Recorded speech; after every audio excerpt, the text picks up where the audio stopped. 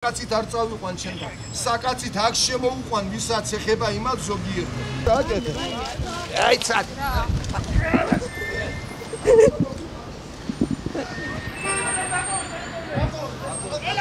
თავის დაწვა პატიმარ პაპუნა კვარაცხელიას მამამ ციხიდან შვილის გათავისუფლების მოთხოვნით სცადა, თუმცა მას ამის საშუალება საჭილავსრების სამინისტროსთან მობილიზებულმა სამართალ დამცავებმა არ მისცეს.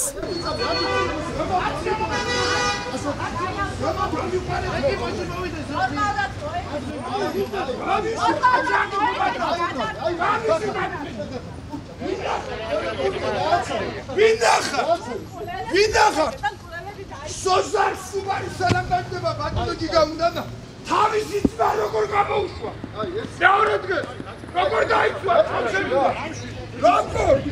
ან ნამდია უსიცხილო თამას კვარაცხელია მინისტრ სოზარ სუბარს უმოქმედობაში ადანაშაულებს. მისი თქმით, პაპუნა კვარაცხელიას თავის ტვინის სიმსივნე ციხეში ცემის შედეგად განუვითარდა. მას შემდეგ, რაც 2011 წელს ყაჩაღობისა და ნარკოტიკების შეძენა შენახვა მოხმარების ბრალდებით დააკავეს და 19 წლიანი პატიმრობა მიუსაჯეს.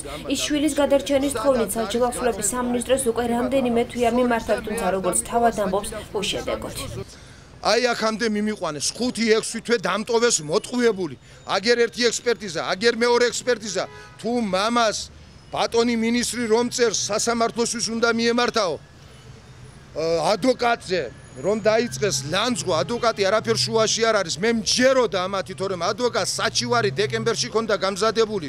კი ბატონო, მე თუ უნდა მიმემართა სასამართლოსთვის 20 ბრიფინგის მეორე დღეს სასრაფო წესით საჯელახსრულების დეპარტამენტის უფროსმა ორ სიტყვიანი შუამდგომლებით სადაც არის გვარი სახელი მითითებული ამით როგორ გადაგზავნა სასამართლოს? სამარცხინო სასაცილო. ადვოკატის ინფორმაციით მსჯავრდებული ჯანმრთელობის უმძიმესი მდგომარეობის შესახებ ორი ექსპერტიზის დასკვნა არსებობს თუმცა მისი გათავისუფლება არ ხდება. ნათია სირაძის თქმით ოჯახის სასჯელის გადავადებაზეც თანახმა იყო რომ პატიმარ საზღვარგარეთ შესაბამისი მკურნალობა ჩატარებოდა თუმცა სუბარის უწყებამ არც ეს თხოვნა დააკმაყოფილა ფაცაციას ბანდა ფაცაციასთან ერთად იქ მუხაძე და იქ ასე შემდეგ ჩამონათვალში არის მის მიერ დაწერილ განცხადებაში ყოველ დღე გაყავდათ და აწამებდნენ. აწამებდნენ უსაშინლესი ხერხებით წამების. რის შედეგადაც მას სიმსივნე განუვითარდა თავის ტვინში.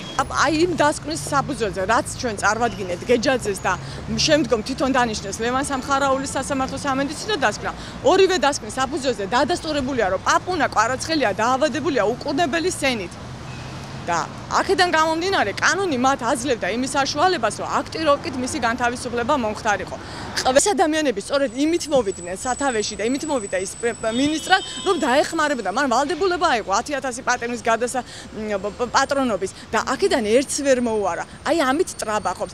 პროტესტის ნიშნად თავის დასაწვევად სასჯელოსლების სამინისტროსთან მისულ პატიმრის მამას დღეს მინისტრის მოადგილე შეხვდა როგორც გიგა გიორგაძემ განაცხადა სამინისტრო მკვარაცხელიას გათავისუფლების თხოვნით სასამართლოსთან მიმართა რაზედაც უარი მიიღო. მისივე ინფორმაციით პატიმრის გათავისუფლება ვერც ჯანდაცვის იმ კომისიის საშუალებით მოხდება, რომელიც დაავადებული პატიმრების საკითხს განიხილავს, რადგან კვარაცხელიას ჯანმრთელობის მდგომარეობა დადგენილ კრიტერიუმებში ვერ ხვდება. გიორგაძე ოჯახს შეწყალების თხოვნით პრეზიდენტისთვის მიმართვას ურჩევს, თუმცა ამაზე პატიმრის მამა უარს ამბობს. ამ შემთხვევაში პირობით ვადამდე გათავისუფლების საფუძველი არ არსებობს, კონკრეტული ვადა არ დამდგარა. ამიტომ ერთ-ერთი გზა იყო მიგვემართა სასამართლოსთვის, რომელიც იღებს გადაწყვეტილებას საჯელის გადავადებასთან დაკავშირებით.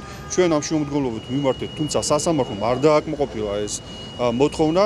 აქედან გამომდინარე, დღეს სამართლებრივი მექანიზმი რჩება ერთი ის, რომ პრეზიდენტმა შეიწყალოს კონკრეტული პატიმარი და ოჯახმა ან პატიმარმა უნდა მიმართოს პრეზიდენტს. ჩვენ მოკლებული ვართ სამართლებრივ საფუძველს რომ გავათავისუფლოთ ეს ადამიანი.